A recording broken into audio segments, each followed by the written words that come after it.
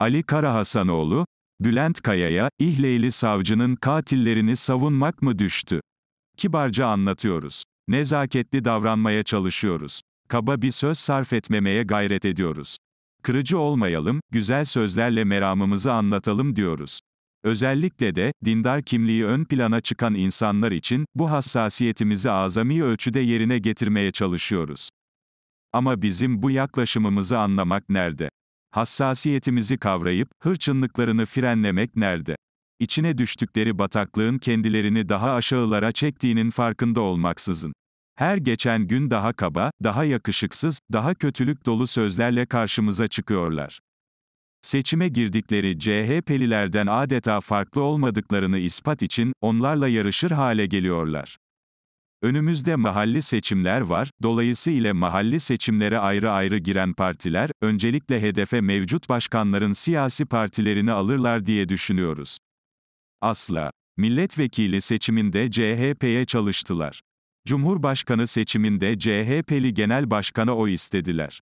Şimdi mahalli seçimlere yaklaşıyoruz. Kendileri ayrı aday çıkartma kararında oldukları halde, bazı iller için partilerinden isimleri de açıkladıkları halde. İstanbul'un, Ankara'nın, İzmir'in CHP'li belediye başkanlarını hedefe koyacaklarını. Önümüzde milletvekili seçimi olmadığı halde. Cumhurbaşkanlığı seçimi 4 yıl sonra olduğu halde. Okları AK Parti'ye doğrultmuşlar, hedef tahtasına İmam Hatipli ve alnı secdeli Tayyip Erdoğan'ı koymuşlar. Sabah, alnı secdeli Erdoğan'ı tahkir ediyorlar, akşam, Ayasofya'yı açan Erdoğan'a kara çalıyorlar. Son saldırılarının sebebi, İmam Hatip mezunu bir savcımızı, görevi başında şehit eden gezicilerin organizatörü Can Atalay'ı cezaevinden çıkarttırmak. Yalan mı söylüyorum, iftira mı atıyorum? Selim Kiraz'ı, İmam Hatip mezunu Pırlanta gibi bir savcıyı, geziciler şehit etmediler mi? Gezicilerin hepsini aynı kefeye koyma, diyecekler. Koymayalım. Gezicilerin içinden bir grup, savcıyı şehit etmedi mi? Başka başka gerekçelerle değil, tam da gezi olayları gerekçe gösterilerek, o savcı şehit elmedi mi? Kaldı ki, gezicilerin içinden bir kişinin, savcının şehit edilmesine açık ve kesin, yüksek sesli bir lanet okuduğunu gördünüz mü? Tam aksine, Cumhuriyet gazetesi bile, manşetten, mecbur bırakıldığımız eylem şekliydi, diye o cinayete güzelleme yapmadı mı? O güzellemeyi yapan Ahmet Şık'ı da, sırf bu güzellemesi sebebiyle daha önce meclise sokmadılar mı? İyi iyi. Neyi tartışıyoruz biz? Gezi isyanı sebebiyle dün bilançosunu verdiğim, ölümlerin yanı sıra, milyarlarca liralık zarara sebep olan gezi organizatörlerinin cezaevinden çıkarılması, Saadet Partisi'nin seçmene taahhüt ettiği vaatler arasındaydı da biz mi bilmiyoruz. Kimse bana, Can Atalay ayrı, savcının şehit edilmesi ayrı, demesin. Can Atalay, savcının şehit edilmesiyle ilgili, hangi tepkiyi koymuş, benim organizatörü olduğum, binbir emeğim olan gezi olayları, minvalinden çıkmıştır. Bu katiller geziyi savunuyor olamazlar. Biz geziciler olarak, bu teröristlerden uzağız. Kınıyorum, lanetliyorum, demiş midir? Yok öyle, siz istiyorsunuz diye, biz şunu bunu kınayacak değiliz, mavalları ile olayı geçiştirmek. Siz geziyi organize edin. DHKPSÖ, çocukları sahaya sürsün. Siz alkış tutun. Onlar size alkış tutsunlar. 3 tane ağaç için, gezi isyanı başlatın, 14 yaşında, 15 yaşında çocukları, günlerce parklarda uyuyacak şekilde organize edin.